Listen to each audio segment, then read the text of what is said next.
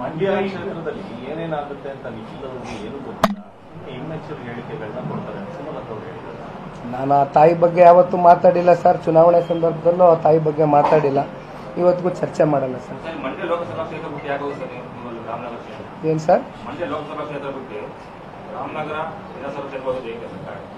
ಇದು ನಾನು ಹೋದೆ ಅಂತಕ್ಕಂಥದ್ದಲ್ಲ ಈಗ ಮಾತಾಡಬೇಕಾದ್ರೆ ಹೇಳಿದ್ನಲ್ಲ ನಾನು. ಈಗ ತಾನೇ ನಾನು ಹೇಳಿದ್ದೀನಿ. ಅಲ್ಲಿ ಜನಗಳ ಅಪೇಕ್ಷೆ ಕಾರ್ಯಕರ್ತರ ಅಪೇಕ್ಷೆ. ಮುಖಂಡರ ಅಪೇಕ್ಷೆ. ಸಿ ಅಲ್ಟಿಮೇಟ್ಲಿ ಈಗ ಅಧ್ಯಕ್ಷರು ಹೇಳ್ದಂಗೆ ಪಕ್ಷ ನೀನು ಎಡಕ್ಕೆ ಹೋಗು ಅಂದ್ರೆ ಎಡಕ್ಕೆ ಹೋಯ್ತೀನಿ ಬಲಕ್ಕೆ ಹೋಗು ಅಂದ್ರೆ ಬಲಕ್ಕೆ ಹೋಯ್ತೀನಿ. ಪಕ್ಷ ಇಲ್ಲ ನೀನು ಸುಮ್ ಕೂತ್ಕ ನೀನು ಏನೂ ಮಾಡಬೇಡ. ನೀನು ಬರೀ ಸಂಘಟನೆ ಮಾಡ್ಕೊಂಡೆ ರಾಜ್ಯ ಸುತ್ತು ಅಂದ್ರೆ ಈಗಲೂ ಹಿಂಸರಿತಿ. ನಂದೇನು ಇದರಲ್ಲಿ ಯಾವುದೇ ರೀತಿಯಾದಂಥ ಏನು ಅಭ್ಯಂತರಗಳಿಲ್ಲ ಇದು.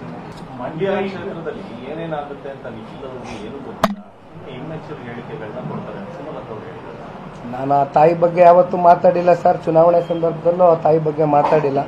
ಇವತ್ತಿಗೂ ಚರ್ಚೆ ಮಾಡಲ್ಲ ಸರ್. ಏನು ಸರ್? ಇದು ನಾನು ಹೋದೆ ಅಂತಕ್ಕಂಥದ್ದಲ್ಲ ಈಗ ಮಾತಾಡ್ಬೇಕಾದ್ರೆ ಹೇಳಿದ್ನಲ್ಲ ನಾನು. ಈಗ ತಾನೇ ನಾನು ಹೇಳಿದ್ದೀನಿ. ಅಲ್ಲಿ ಜನಗಳ ಅಪೇಕ್ಷೆ ಕಾರ್ಯಕರ್ತರ ಅಪೇಕ್ಷೆ. ಮುಖಂಡರ ಅಪೇಕ್ಷೆ. ಸಿ ಅಲ್ಟಿಮೇಟ್ಲಿ ಈಗ ಅಧ್ಯಕ್ಷರು ಹೇಳ್ದಂಗೆ, ಪಕ್ಷ ನೀನು ಎಡಕ್ಕೆ ಹೋಗು ಅಂದ್ರೆ ಎಡಕ್ಕೆ ಹೋಯ್ತೀನಿ ಬಲಕ್ಕೆ ಹೋಗು ಅಂದ್ರೆ ಬಲಕ್ಕೆ ಹೋಯ್ತೀನಿ. ಪಕ್ಷ ಇಲ್ಲ ನೀವು ಸುಮ್ ಕೂತ್ಕ, ನೀನು ಏನೂ ಮಾಡಬೇಡ. ನೀನು ಬರೀ ಸಂಘಟನೆ ಮಾಡ್ಕೊಂಡೆ ರಾಜ್ಯ ಸುತ್ತು ಅಂದ್ರೆ ಈಗಲೂ ಹಿಂಸರಿತಿ. ನಂದೇನು ಇದರಲ್ಲಿ ಯಾವುದೇ ರೀತಿಯಾದಂಥ ಏನು ಅಭ್ಯಂತರಗಳಿಲ್ಲ ಇದು.